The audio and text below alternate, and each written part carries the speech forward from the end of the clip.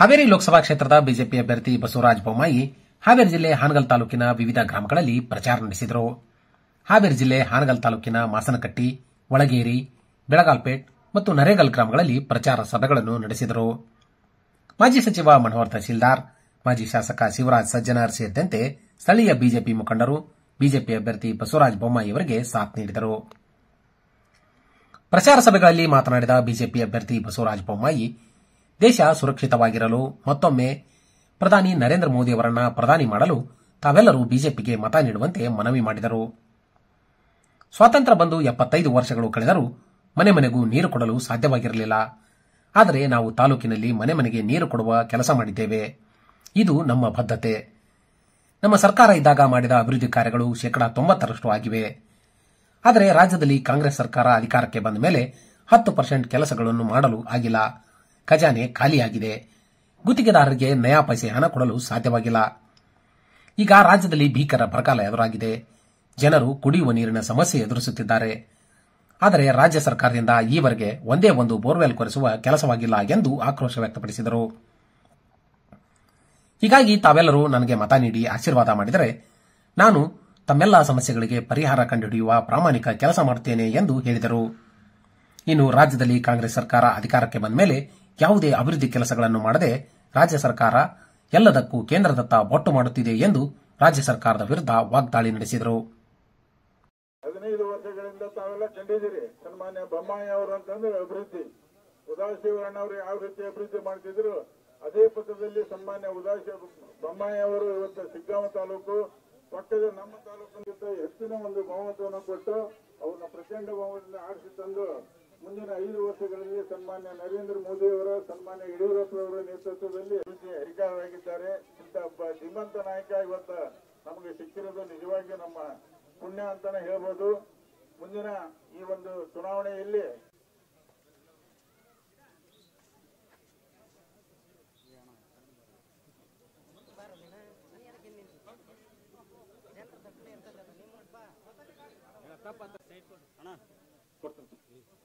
ಮನೋಹರ್ ತಹಶೀಲ್ದಾರ್ ಸಾಹೇಬ್ರು ಮಾತಾಡ್ಬೇಕಂತ ಕೇಳ್ಕೊತಿದ್ದೆ.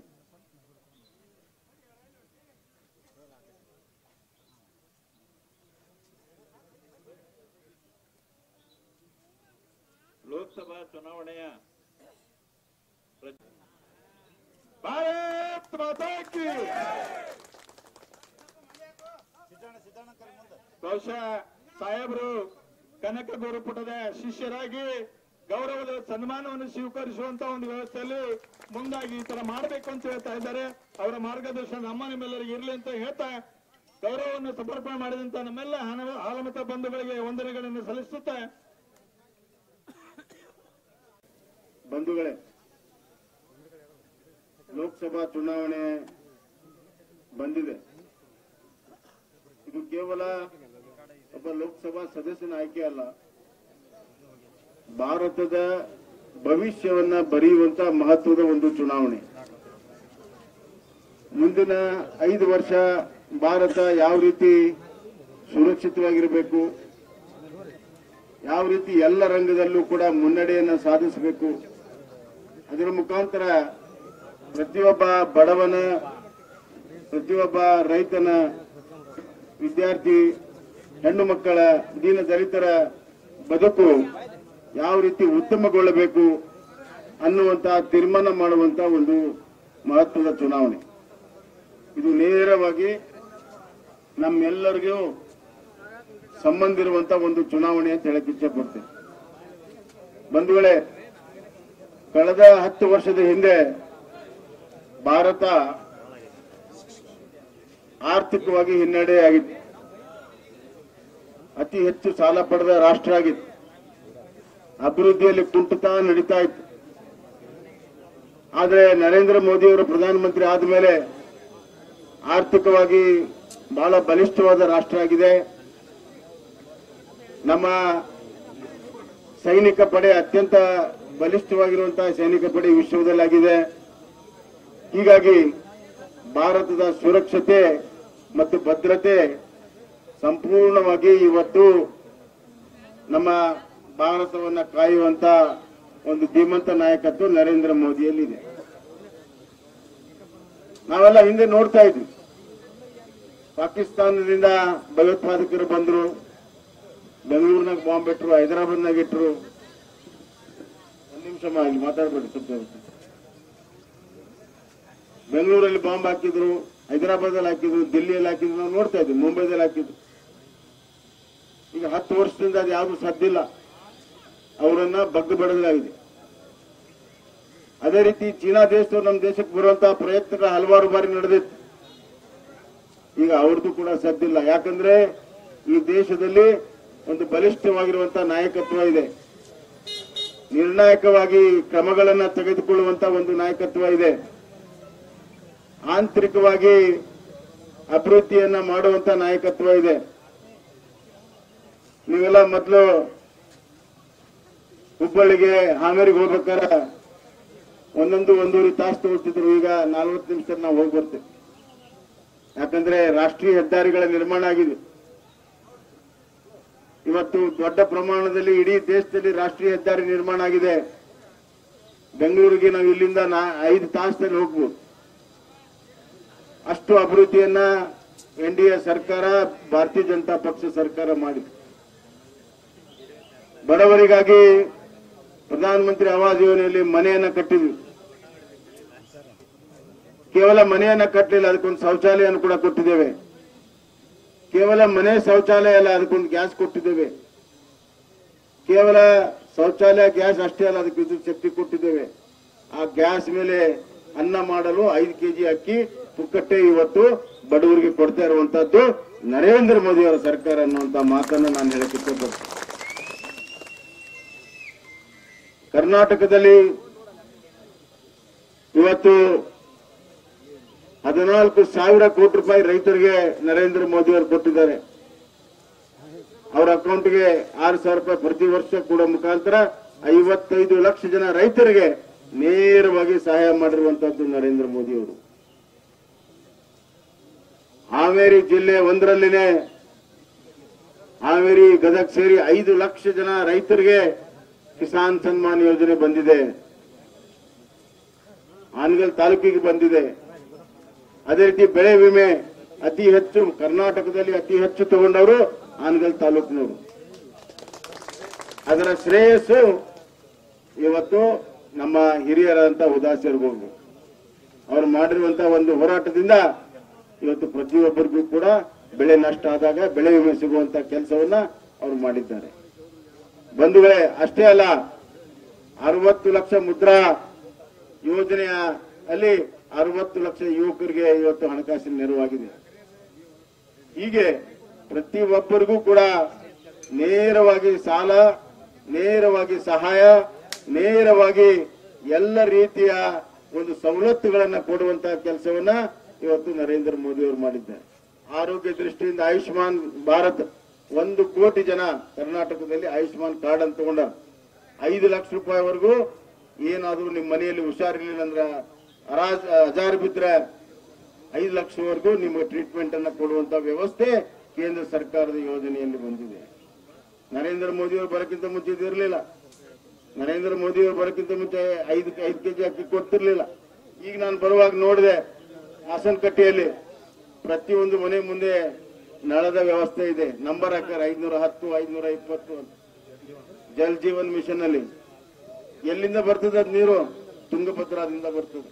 ತುಂಗಭದ್ರಾ ನದಿಯಿಂದ ಸುಮಾರು ನೂರ ಎಂಬತ್ತು ಕಿಲೋಮೀಟರ್ ದೂರದಿಂದ ನೀರನ್ನ ತಂದು ವಾಸನಕಟ್ಟಿ ಗ್ರಾಮಕ್ಕೆ ಕೊಡ್ತಾ ಇದ್ದಾರೆ, ಹಾನಗಲ್ ತಾಲೂಕಿಗೆ ಕೊಡ್ತಾ ಇದ್ದಾರೆ. ಸಿಗ್ಗಾಂವ್ ಸವಣೂರು ಹಾನಗಲ್ ಈ ಮೂರು ತಾಲೂಕು ಸೇರಿಸಿ ಆ ಯೋಜನೆಯನ್ನ ನಾನು ಮುಖ್ಯಮಂತ್ರಿ ಇದ್ದಾಗ ಮಾಡಿದ್ದೇನೆ. ಆದ್ರಿಂದ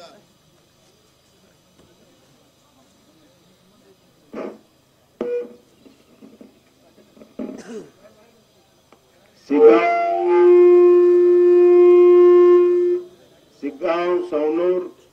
ಈ ಮೂರು ತಾಲೂಕುಗಳಿಗೆ ನಾಲ್ಕುನೂರ ಎಂಬತ್ತು ಕೋಟಿ ರೂಪಾಯಿಯಲ್ಲಿ ಪ್ರತಿಯೊಂದು ಮನೆಗೆ ನೀರು ಕೊಡುವಂತಹ ಯೋಜನೆಯನ್ನು ನಾವು ಮಾಡಿದ್ದೇವೆ. ಸ್ವತಂತ್ರ ಬಂದು ಎಪ್ಪತ್ತೈದು ವರ್ಷ ಆದರೂ ಕೂಡ ಆಗಿರಲಿಲ್ಲ. ಇವತ್ತು ನಾವು ಮಾಡಕ್ ಸಾಧ್ಯ ಆಗಿದೆ. ಇದು ನಮ್ಮ ಬದ್ಧತೆ. ಗ್ರಾಮೀಣ ಜನರಿಗೂ ಕೂಡ ಸ್ವಚ್ಛವಾದಂತಹ ನೀರನ್ನ ಕೊಡಬೇಕು. ಆರೋಗ್ಯವಂತರಾಗಬೇಕು. ಗ್ರಾಮೀಣ ಮಹಿಳೆಯರು ಕೂಡ ಬಗೆರಹಿತವಾಗಿರುವಂತಹ ಅಡಿಗೆಯನ್ನು ಮಾಡುವಂತಹ ವ್ಯವಸ್ಥೆ ಆಗಬೇಕು. ಗ್ರಾಮೀಣ ಮಹಿಳೆಯರು ತಮ್ಮ ಗೌರವವನ್ನು ಉಳಿಸಿಕೊಂಡು ಬಹಿರ್ಧರಿಸಿ ಹೋಗುವಂತಹ ಶೌಚಾಲಯಗಳ ನಿರ್ಮಾಣ ಆಗಬೇಕು. ಇದು ನಮ್ಮ ಬದ್ಧತೆ. ಪ್ರತಿಯೊಬ್ಬರಿಗೂ ಸ್ವಾಭಿಮಾನ ಇರುವಂತಹ ಒಂದು ಆಶ್ರಯ, ಒಂದು ಮನೆ, ಒಂದು ಸೂರು ಅವ್ರಿಗಿರಬೇಕು ಇದು ನಮ್ಮ ಕಲ್ಪನೆ. ಇದು ನವ ಭಾರತದ ಒಂದು ಕಲ್ಪನೆ. ಆದ್ರಿಂದ ಬಂಧುಗಳೇ ಎಲ್ಲ ಕೆಲಸ ಕಾರ್ಯಗಳು ಮುಂದುವರಿಬೇಕು.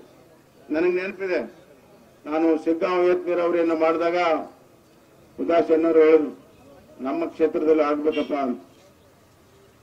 ಸನ್ಮಾನ್ಯ ಯಡಿಯೂರಪ್ಪನವರು ಎರಡನೇ ಬಾರಿ ಮುಖ್ಯಮಂತ್ರಿ ಇದ್ದಾಗ ಮಾರಂಬೀಡ ಏತ್ ನೀರಾವರಿ ಹಿರೇಕಂಶಿ ಏತ್ ನೀರಾವರಿ ಸಮಸ್ಕಿ ಏತ್ ನೀರಾವರಿ ಈ ಮೂರು ಯೋಜನೆಗಳಿಗೆ ಸನ್ಮಾನ್ಯ ಉದಾಸಿಯವರ ಒಂದು ಒತ್ತಾಸೆಯಂತೆ ಅವರ ನೇತೃತ್ವದಲ್ಲಿ ಇವುಗಳನ್ನ ಮಂಜೂರಿತಿ ಮಾಡಿ ನೂರು ಯೋಜನೆಗೆ ಸುಮಾರು ಆರ್ನೂರು ಕೋಟಿ ರೂಪಾಯಿಯನ್ನ ಇವತ್ತು ಮಂಜೂರಾತಿಯನ್ನು ಮಾಡಿ ಬಿಡುಗಡೆ ಮಾಡಿದ್ದೇವೆ. ಎಲ್ಲಾ ಕೆಲಸ ಕಾರ್ಯಗಳು ತೊಂಬತ್ತರಷ್ಟು ಮುಗಿದಿದ್ದಾವೆ. ಇನ್ನು ಹತ್ತು ಪರ್ಸೆಂಟ್ ಆಗಬೇಕು. ಹತ್ತು ತಿಂಗಳಿಂದ ಈ ಹತ್ತು ಪರ್ಸೆಂಟ್ ಕೆಲಸ ಮಾಡಕ್ಕಾಗಿಲ್ಲ. ಯಾವುದೇ ಕಾಂಟ್ರಾಕ್ಟರ್ಗೆ ಒಂದು ನಯಾ ಪೈಸಾ ಕೂಡ ಕೊಡಕ್ ಸಾಧ್ಯ ಆಗಿಲ್ಲ. ಖಜಾನೆ ಖಾಲಿ ಆಗಿದೆ. ರಾಜ್ಯ ಸರ್ಕಾರ ದಿವಾಳಿಯಾಗಿದೆ. ಒಂದು ಲಕ್ಷ ಐದು ಸಾವಿರ ಕೋಟಿ ರೂಪಾಯಿ ಸಾಲವನ್ನ ಈ ಕಾಂಗ್ರೆಸ್ ಸರ್ಕಾರ ಇವತ್ತು ಎತ್ತಿದೆ. ಯಾರಿಗಾಗಿ? ನೀರಾವರಿಗಾಗಿ ಇಲ್ಲ ಹಣ ರಸ್ತೆ ಕಾಮಗಾರಿಗಳಿಗಿಲ್ಲ. ಅದೆಲ್ಲ ಬಿಡ್ರಿ. ಬರಗಾಲದಲ್ಲಿ ಕುಡಿಯುವ ನೀರಿಗೆ ಹಣ ಬಿಡುಗಡೆ ಮಾಡಿಲ್ಲ. ಇವತ್ತುವರೆಗೂ ಬಿಡುಗಡೆ ಮಾಡಿಲ್ಲ ಹತ್ತು ತಿಂಗಳಿಂದ ಜನ ಸಂಕಷ್ಟದಲ್ಲಿದ್ದಾರೆ. ದನಕರುಗಳಿಗೆ ನೀರಿಲ್ಲದೆ ದನಕರುಗಳನ್ನ ಹೊಡಿತಾ ಇದ್ದಾರೆ. ಇವತ್ತು ಜನ ಗುಳೆ ಹೋಗುವಂತಹ ಪರಿಸ್ಥಿತಿ ಇದೆ. ದುಡಿಯೋ ಕೈಗೆ ಕೆಲಸ ಇಲ್ಲ. ಆದ್ರೆ ಬರಗಾಲ ಕಾಮಗಾರಿನೂ ನಡೆದಿಲ್ಲ, ಬರಗಾಲಕ್ಕೆ ಒಂದು ಹಣ ಪೈಸನೂ ಆಗಿಲ್ಲ, ಒಂದು ಹೊಸ ಬೋರ್ವೆಲ್ ಒಂದು ಕೂಡ ತೆಗೆದಿಲ್ಲ ಇಲ್ಲಿವರೆಗೂ ಜನ ಇವತ್ತು ನೀರಾಡಿಕೆಯಿಂದ ಈ ಸರ್ಕಾರವನ್ನು ಹಿಡಿ ಶಾಪ ಆಗ್ತಾ ಇದ್ದಾರೆ, ಆದ್ರೆ ಸರ್ಕಾರ ಮಾತ್ರ ಸಂಪೂರ್ಣವಾಗಿ ಮಲ್ಕೊಂಡಿದೆ. ಸಂಪೂರ್ಣವಾಗಿ ಮಲ್ಕೊಂಡಿದೆ. ಮಾತೆತ್ತಿದ್ರೆ ಕೇಂದ್ರ ಕಡೆ ಬಟ್ ಮಾಡಿ ತೋರಿಸ್ತಾರೆ. ಇಲ್ಲೇ ಪ್ರವಾಹ ಬಂದಿತ್ತು. ನಮ್ಮ ಸೊಪ್ಪಿನವ್ರು ಹೇಳಿ ನಾವು ಬಂದು ಇಲ್ಲಿ ನೋಡಿದಾಗ ಇಲ್ಲಿಯ ಸಮಸ್ಯೆಗಳನ್ನು ತಿಳ್ಕೊಂಡು ಕೂಡಲೇ ಮನೆ ಬಿದ್ದವರಿಗೆ ಐದು ಲಕ್ಷ ರೂಪಾಯಿ ಕೊಡುವಂತದ್ದನ್ನ ಒಂದು ಆಜ್ಞೆಯನ್ನ ಮಾಡಿದ್ವಿ. ಪ್ರತಿಯೊಬ್ಬ ರೈತನಿಗೆ ಒಣ ಬೇಸಾಯದವರಿಗೆ ಹದಿಮೂರು ಸಾವಿರ ರೂಪಾಯಿ ಕೊಡುವಂತದ್ದನ್ನು ಮಾಡಿದ್ವಿ. ಇವ್ರು ಎರಡು ಸಾವಿರ ರೂಪಾಯಿ ಸುತ್ತ ಕೊಡಕ್ಕಾಗಿಲ್ಲ. ನೀರಾವರಿ ಇದ್ದವ್ರಿಗೆ ಹದಿನೆಂಟು ಸಾವಿರ ರೂಪಾಯಿ ಕೊಟ್ಟಿದ್ದೇವೆ. ತೋಟಪಟ್ಟಿ ಇದ್ದವ್ರಿಗೆ ಇಪ್ಪತ್ತೆಂಟು ಸಾವಿರ ಕೊಟ್ಟಿದ್ದೇವೆ ಬಂಧುಗಳೇ. ಕೇವಲ ಒಂದು ತಿಂಗಳಲ್ಲಿ ನಾಲ್ಕು ಸಾವಿರದ ಮುನ್ನೂರು ಕೋಟಿ ರೂಪಾಯಿನ ಹದಿನೇಳು ಲಕ್ಷ ಜನ ರೈತರಿಗೆ ನಾನು ಬಿಡುಗಡೆ ಮಾಡಿದೆ. ಇದು ನಮ್ಮ ಬದ್ಧತೆ. ಇದು ನಮ್ಮ ರೈತ ಪರವಾಗಿರುವಂತ. ನನ್ನ ಕಾಲದಲ್ಲಿ ರೈತ ವಿದ್ಯಾರ್ಥಿ ನಿಧಿಯನ್ನ ಮಾಡಿದ್ವಿ. ರೈತರ ಮಕ್ಕಳು ವಿದ್ಯಾವಂತರಾಗಬೇಕು ಭೂಮಿ ಎಷ್ಟಿದೆ ಅಷ್ಟೇ ಇದೆ. ಅದರ ಮೇಲೆ ಅವಲಂಬಿತರುವಂತಹ ರೈತರ ಮಕ್ಕಳು ಜಾಸ್ತಿ ಆಗಿದ್ದಾರೆ. ಅವರು ವಿದ್ಯಾವಂತರಾಗಿ ಬೇರೆ ಬೇರೆ ಕಸಬ್ನಲ್ಲಿ ತೊಡ್ಕೋಬೇಕು ಅಂತ ಹೇಳಿ ವಿದ್ಯಾರ್ಥಿ ರೈತರು, ಮಕ್ಕಳು S S L C, P U C ಆಗಿ ವಿದ್ಯೆಯನ್ನು ಮಾಡ್ತಿರ್ಲಿಲ್ಲ. ಅದಕ್ಕೆ ಅವ್ರಿಗೆ ಪ್ರೋತ್ಸಾಹ ಕೊಡಲು ನಾನು ವಿದ್ಯಾರ್ಥಿ ನಿಧಿ, ರೈತ ವಿದ್ಯಾರ್ಥಿ ನಿಧಿಯನ್ನು ಮಾಡಿದೆ. ಹದಿಮೂರು ಲಕ್ಷ ಜನ ರೈತರಿಗೆ ಅನುಕೂಲ ಆಗಿದೆ. ಕೇವಲ ರೈತರಿಗೆಲ್ಲ, ನೇಕಾರರಿಗೆ, ಕೂಲಿಕಾರರಿಗೆ, ಮೀನುಗಾರರಿಗೆ ಎಲ್ಲರಿಗೂ ಕೂಡ ನಾವು ಮಾಡಿದ್ವಿ. ಆದರೆ ಅದನ್ನು ಸಂಪೂರ್ಣವಾಗಿ ಇವತ್ತು ಸ್ಥಗಿತಗೊಳಿಸಿದ್ದಾರೆ. ಕಿಸಾನ್ ಸನ್ಮಾನ್ ಯೋಜನೆ ರೈತರ ರಾಜ್ಯದ ಪಾಲನೆ ನಿಲ್ಲಿಸಿದ್ದಾರೆ. ಇದೊಂದು ರೈತ ವಿರೋಧಿ ಸರ್ಕಾರ ಇವತ್ತು ಕರ್ನಾಟಕದಲ್ಲಿದೆ. ದಲಿತರ ಹನ್ನೊಂದು ಸಾವಿರದ ಮುನ್ನೂರು ಕೋಟಿ ರೂಪಾಯಿ S C P, T S P ದಲಿತರ ಹಣವನ್ನ ಇವತ್ತು ಗ್ಯಾರಂಟಿ ತೆಗೆದುಕೊಂಡಿದ್ದಾರೆ. ದೀನ ದಲಿತರಿಗೆ ಮೋಸವನ್ನ ಮಾಡ್ತಾ ಇದ್ದಾರೆ. ಹಿಂದುಳಿದ ವರ್ಗದವರಿಗೆ ಮೋಸವನ್ನ ಮಾಡ್ತಾ ಇದ್ದಾರೆ. ಮೂಗಿಗೆ ತುಪ್ಪ ಹಚ್ಚುವಂತ ಕೆಲಸ ಇಲ್ಲಿ ನಡೆದಿದೆ ಬಂಧುಗಳೇ. ಆದ್ರಿಂದ ಇದು ಬದಲಾವಣೆ ಆಗಬೇಕು. ಕೇಂದ್ರದಲ್ಲಿ ಮತ್ತೊಮ್ಮೆ ನರೇಂದ್ರ ಮೋದಿ ಸರ್ಕಾರ ಬರಬೇಕು. ಬಲಿಷ್ಠವಾದಂತಹ ಭಾರತ ಕಟ್ಟಬೇಕು. ಅಭಿವೃದ್ಧಿ ಪರವಾಗಿರುವಂತಹ ಭಾರತ ನಿರ್ಮಾಣ ಆಗಬೇಕು. ಭವ್ಯ ಭಾರತ ನಿರ್ಮಾಣ ಆಗೋದಕ್ಕೆ ನರೇಂದ್ರ ಮೋದಿ ಅವರ ಕೈಯನ್ನ ಬಲಪಡಿಸಬೇಕೆಂದು ಕಳಕಳಿ ವಿನಂತಿಯನ್ನು ನಾನು ಮಾಡ್ತೇನೆ. ನಾನು ಈ ಲೋಕಸಭಾ ಸದಸ್ಯನಾಗಿ ಅತ್ಯಂತ ಕ್ರಿಯಾಶೀಲವಾಗಿ ಈ ಕ್ಷೇತ್ರದ ಅಭಿವೃದ್ಧಿಗೆ ಕಂಕಣಬದ್ಧನ ಕೆಲಸವನ್ನ ಮಾಡ್ತೇನೆ. ನಿಮ್ಮ ಮತಕ್ಕೆ ಗೌರವ ಬರೋ ರೀತಿಯಲ್ಲಿ ನಾನು ಕೆಲಸವನ್ನ ಮಾಡ್ತೇನೆ. ಯಾವ ರೀತಿ ಸಿಗ್ಗಾಂವ್ ಸಮೂಹ ಕ್ಷೇತ್ರವನ್ನು ಅಭಿವೃದ್ಧಿ ಮಾಡಿದ್ದೇವೆ, ನಾನು ಎಲ್ಲ ಎಂಟು ಕ್ಷೇತ್ರ ಹಂಗಲ್ ಸಮೇತವಾಗಿ ಅಭಿವೃದ್ಧಿ ಮಾಡ್ತೇನೆ ಅನ್ನುವಂತ ಒಂದು ಸಂಕಲ್ಪವನ್ನು ನಿಮ್ಮ ಮುಂದೆ ನಾನು ಮಾಡ್ತಾ ಇದ್ದೇನೆ ಬಂಧುಗಳು. ಒಬ್ಬ ಶಾಸಕನಾಗಿ, ಒಬ್ಬ ಸಂಸತ್ ಸದಸ್ಯನಾಗಿ, ನಿಮ್ಮೆಲ್ಲರ ಅಣ್ಣತಮ್ಮನಾಗಿ ನಾನು ನಿಮ್ಮ ದುಃಖ ದುಮ್ಮಾನವನ್ನ ದೂರ ಮಾಡುವಂತ, ನಿಮ್ಮ ಅಭಿವೃದ್ಧಿ ಕೆಲಸವನ್ನ ನಾನು ಖಂಡಿತವಾಗೂ ಮಾಡ್ತೇನೆ ಅನ್ನುವಂತ ಮಾತನ್ನ ಈ ಸಂದರ್ಭದಲ್ಲಿ ಹೇಳಕ್ಕೆ ಇಚ್ಛೆ ಪಡ್ತೇನೆ ಬಂಧುಗಳು. ನನ್ನ ಕನಸಿದೆ ಮಾರಂಬೇಡ ಏತ್ ನೀರಾವರಿಯಿಂದ ಮಾಸನಕಟ್ಟಿ ಕೆರೆಗಳು ತುಂಬಬೇಕು. ಬಾಳಂಬಿಡ, ಬಾಳಂಬಿಡದ ಏತ್ ನೀರಾವರಿಯಿಂದ ಇವತ್ತು ಮಾಸನಕಟ್ಟಿ ಕೆರೆಗಳು ತುಂಬಬೇಕು. ಚುನಾವಣೆ ಆಗಿ ಮೂರು ತಿಂಗಳ ಒಳಗಡೆನೆ ಅದನ್ನು ತುಂಬೋದಕ್ಕೆ ಎಲ್ಲ ರೀತಿಯ ಹೋರಾಟವನ್ನು ನಾನು ಮಾಡ್ತೇನೆ ಅನ್ನೋ ಮಾತನ್ನ ಈ ಸಂಘ ಇಷ್ಟಪಡ್ತೀನಿ ಬಂದು ಇವತ್ತು ಇವತ್ತು ಇಡೀ ಭಾರತ ದೇಶದಲ್ಲಿ ಮೋದಿ ಅಲೆ ಇದೆ, ಭಾರತೀಯ ಜನತಾ ಪಕ್ಷದ ಅಲೆ ಇದೆ. ರೈತರು, ಕೂಲಿಕಾರರು, ದೀನದಲಿತರು, ತಾಯಂದಿರು ಮತ್ತು ಯುವಕರು ಬಹಳ ದೊಡ್ಡ ಪ್ರಮಾಣದಲ್ಲಿ ಬೆಂಬಲವನ್ನು ಕೊಡ್ತಾ ಇದ್ದಾರೆ. ಯುವಕರಲ್ಲಿ ಹದಿನೆಂಟು ವರ್ಷ ದಾಟಿದವರಿಗೆ ಹೊಸ ಮತದಾನ ಹಕ್ಕು ಬಂದಿದೆ. ಅವರೆಲ್ಲರೂ ಕೂಡ ಸಕ್ರಿಯ ಪಾಲ್ಗೊಳ್ಳಬೇಕು. ಈ ದೇಶ ಕಟ್ಟಲು ನರೇಂದ್ರ ಮೋದಿ ಅವರ ಕೈಯನ್ನು ಬಲಪಡಿಸಬೇಕೆಂದು ಕಳಕಳಿ ವಿನಂತಿಯನ್ನು ನಾನು ಮಾಡ್ತೇನೆ. ಬಂಧುಗಳೇ ನಾ ದೊಡ್ಡ ಕ್ಷೇತ್ರ ಇರೋದ್ರಿಂದ, ನಾನು ಎಲ್ಲ ಕಡೆ ಹೋಗ್ಬೇಕಾಗೋದ್ರಿಂದ ನಾನು ಇಲ್ಲೇ ಪಕ್ಕದಲ್ಲಿ ಇರ್ತೇನೆ. ಯಾವಾಗ ಬೇಕಾದ್ರೂ ಕೂಡ ಮತ್ತೆ ಬರ್ತೇನೆ. ನಿಮ್ ಜೊತೆಗೆ ಸಂವಾದವನ್ನು ಮಾಡ್ತೇನೆ. ದಯವಿಟ್ಟು ಸಂಪೂರ್ಣವಾಗಿ ಬೆಂಬಲವನ್ನ ಮಾಡಿ. ಜಾತಿ, ಮತ, ಪಂಥ ಯಾವುದನ್ನು ನಾನು ನೋಡೋದಿಲ್ಲ. ನನ್ನ ರಾಜಕೀಯ ಜೀವನದಲ್ಲಿ ಎಂದೂ ಕೂಡ ಜಾತಿ, ಮತ, ಪಂಥವನ್ನು ನಾವು ಮಾಡಿಲ್ಲ. ಮಾಡೋದೂ ಇಲ್ಲ, ಅದರ ಅವಶ್ಯಕತೆನೂ ಇಲ್ಲ. ನಾವು ಕೂಡ ಎಲ್ಲರೂ ಒಂದಾಗಿ, ಅವರು ಇವರನ್ನೋದು ಎಲ್ಲರೂ ಒಂದಾಗಿ, ಒಕ್ಕಟ್ಟಾಗಿ ಭಾರತೀಯ ಜನತಾ ಪಕ್ಷಕ್ಕೆ ಓಟನ್ನು ಹಾಕಿಸಿ, ಹಾಕಿ ಜಯಶಾಲಿಯಾಗಿ ಮಾಡಬೇಕೆಂದು ಅತ್ಯಂತ ಕಳಕಳಿ ವಿನಂತಿಯನ್ನು ಮಾಡಿ ನನ್ನ ಮಾತನ್ನು ಮುಗಿಸ್ತೇನೆ. ಬೋಲೋ ಭಾರತ್ ಮತಾಕಿ ಜೈ ಶ್ರೀರಾಮ್.